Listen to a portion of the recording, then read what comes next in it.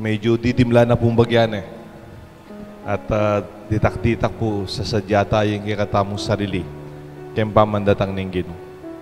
Yan yung banwang 2020, sana mas makabaldugan niya at ka na pong ebanghelyo ngayon, ipag-aralan tayo ingkutang Nino Ika. Nino Ika. Identity nung Nino Ita mo. Itang pamangilala mo kaya sarili mo mawalagaya, bayo may tanggaping metong tao. Unless you know yourself clearly, it is very difficult to accept another person. Potangi ka mismo, eh mo kilala sarili mo. Potangi ka mismo, eh mo atanggapi sarili mo. Ah, nakasakit. Ing kilalanan ang pontanggap kareng aliwang tao. Ka na pong ebanghelyo.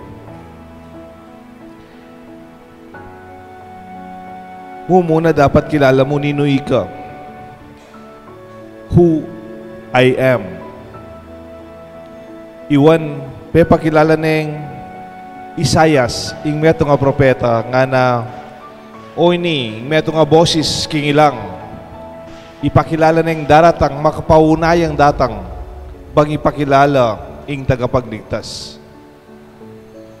Kalino na po ne, metong yang boses king ilang, a voice from the wilderness, makapauna, forerunner, wala mo, miutusan niya, para isadya, impamandatang ng Ginoo. Oita nung ninuyuan, balo na nung ninuiya, at nung akagit me, yan naman yung kayang misyon. His identity is very close to his mission in life. Anti mo po tangi ka, sabihan ka, o ini ma, mestraya. Ini metong yang talasawa. Ako meto kumpari. O meto nga negosyante, meto nga talaturo, meto nga leader, meto nga pengari, akakit mo nung nino ika, king paralan, king kaya kang mission, king biye.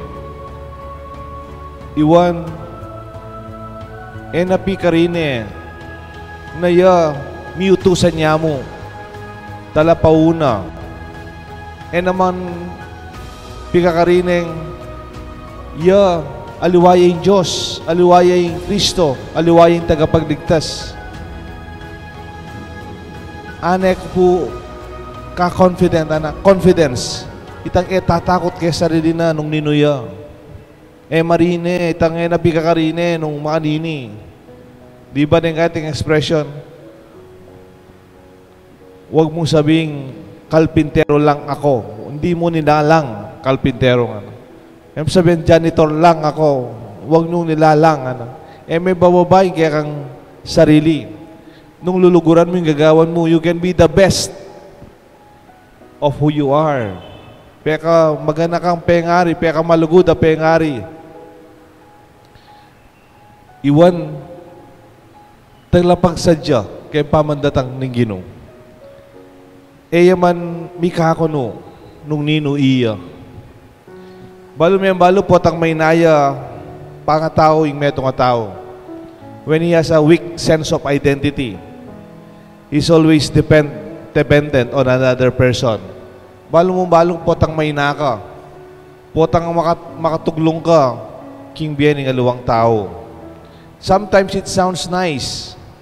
Ay, kalugod na nga na. Ay, kalapit na kaya. Anti mo itang expression. Potang may naka pa nga tao. Didikit mo yung sarili mo kay ngaliwa.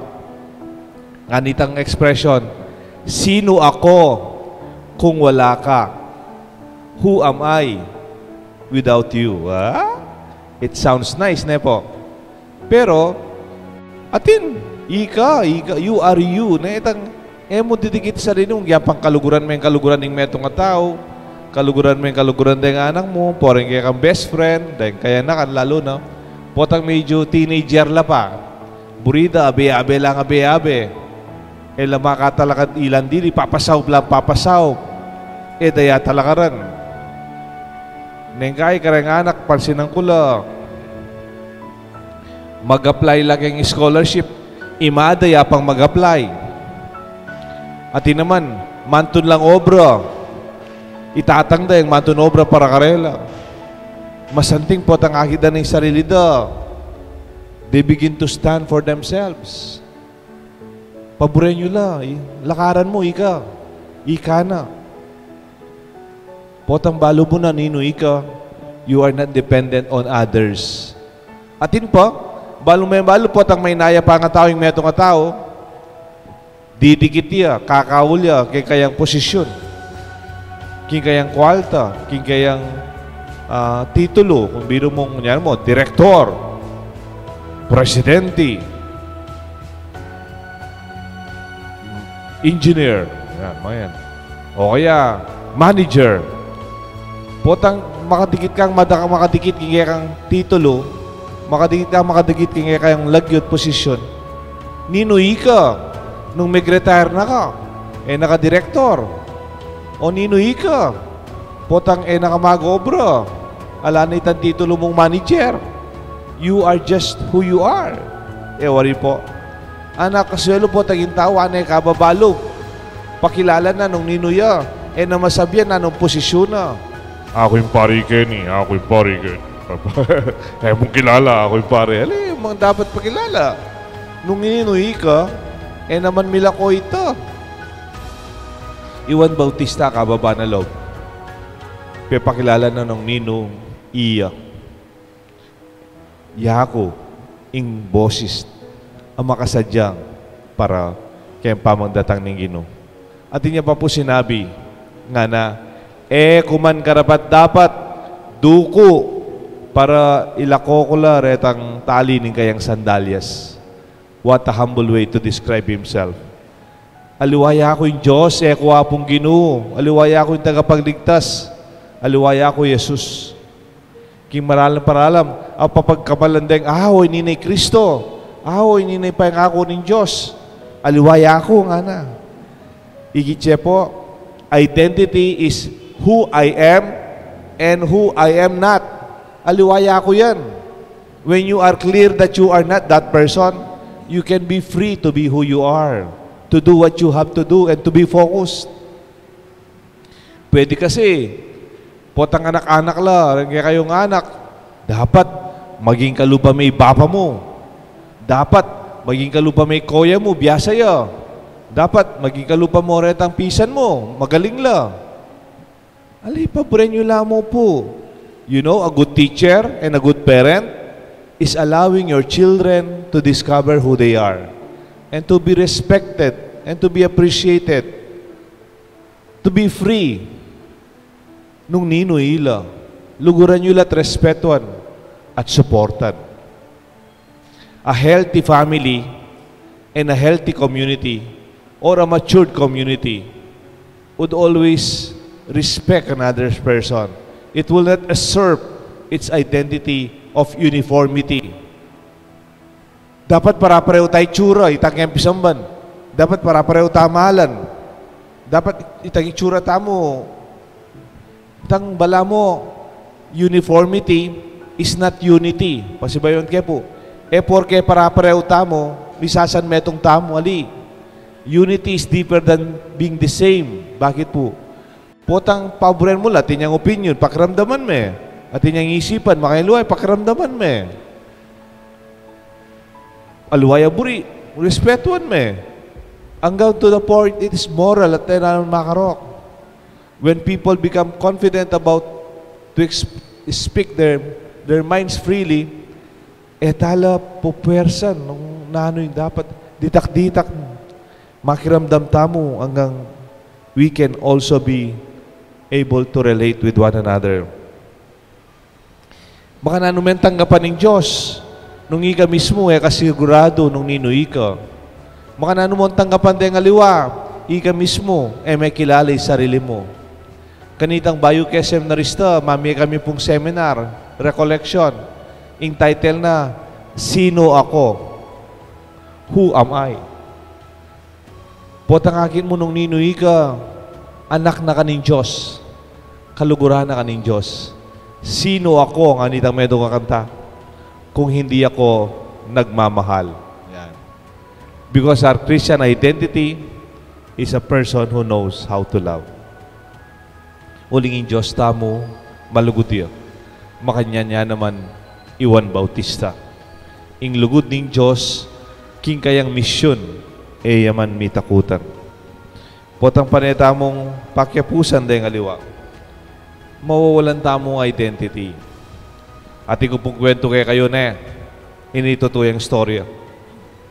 Eya po mais-mais mo. At ko pong estudyante kanita seminaryo. Pepagkwentuhan ko lang. Nga na, Pader, niyanta nga na ako pong malati, medagul ko kang lola ko. Ne? Seminarist tayo po yun eh. Lola. Walam dahil ikay po po, tapitugi-tugi o sisimbareng apuyo. Ne? Tuki-tugi ka nga po na. O na nga po na CWL ya po. Balyo po rin CWL. Alang CWL kayo niya. Catholic Women's League ne po. Um, Makablue lang po deta po ang white. Ilang minunang blue and white, ilawa man ng SM. Eh. Ilang talagang original deta ang blue. Ladies in blue. Kaya ba't po, pa yung tutugi kang lola na. O ito yung Vienna, o ito yung yato na. Ang kay, kut nande ka no. O, nanumbri mo, potang maragul na ka. Nga da kaya. Nga na nining anak. Lalaki po na Bisa ko pong mag-CWL. Nga na. Sabi, ma, na, maya piya lola na. Anak, na eh ka pwedeng mag-CWL. Nga. Kasi lalaki ka. Itang Catholic Women's League. alang, alang male version kaya niya na. Hanggang katanggap na, eh pwedeng maging kalupa ng lola na. Uling idol na yung lola na eh. Uh, yung uh, tutukyan-tukyan, may ragulya ka lola na. Puri na, maging kalupa yung lola na. Sabi na, sabi ng lola na, anak, siguro ating niya pangalawang ahosin Diyos kaya ka. SCWL. Bali po. Meg pari ah. pari na po ngayon eh. Ita nga ko po, ilola na linapit na iking apong gino. Not to be like her, but to discover his real calling. Akit na nung nino talaga iya. Itang dapat kalupa kay tata ko, dapat kalupa kay ma ko, dapat kalupa may bapa mo. Ali, just be who you are. Maybe you can guide them. Tukyan mo mo. E ka tatakot. E ka insecure. E ka magkumpara. E mo kukumpara rin anak mo ka rin aliwa. Pabren mo mo. Celebrate what they have. Ni kay may mong mas burinong kaluguran din kayang pisan. Eh di masanteng. Okay, may mong anak, may liyang manese. Ay, pabren me pa. Let them discover their graces.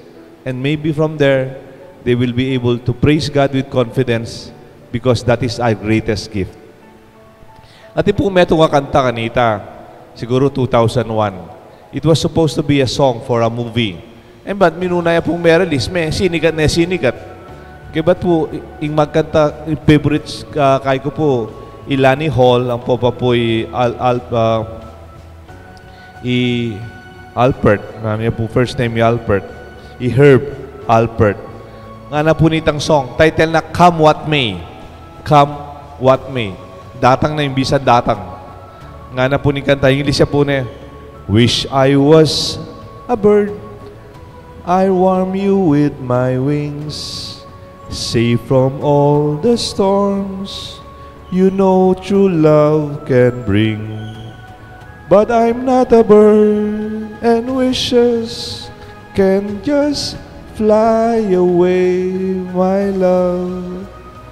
Now I'll never be afraid of who I am and who I'm not. Come what may. Buri ko maging hungayo, paano banta sula po ka ta, kana, tak sula po ka ta, pamasyal da ka, pamasyal da ka, kana. Puta nga na ka, manita. Bisa akong maging Superman, bisa akong malukal man. Ali, pero po tandutwa na ka, sabihan mo kaya sarili mo, eh na ako manayop eh, na ako superman eh. Ninumuha ako. At ngayon po tandutwa na sana, you can say, I'll never be afraid of who I am and who I am not, come what may. Iting maging biyen ng Juan Bautista. Eh, man tatakot. Ang gamay ang asukul yat, Peter, datang datang oy ni ingka na akong kayawsan. This is my identity, a forerunner of the Lord. At kanitang higit na yung atyo ni Kristo, sapat na, lubusan na, kumpleto na imbiyena. Kapatat iti pag-celebran tamo ngayon in Domingo, kimpamandatang ning Gino, isadya tamo in kakatang sarili. Kilagyo ning igpang po ng anak, po ng Espiritu. Amen.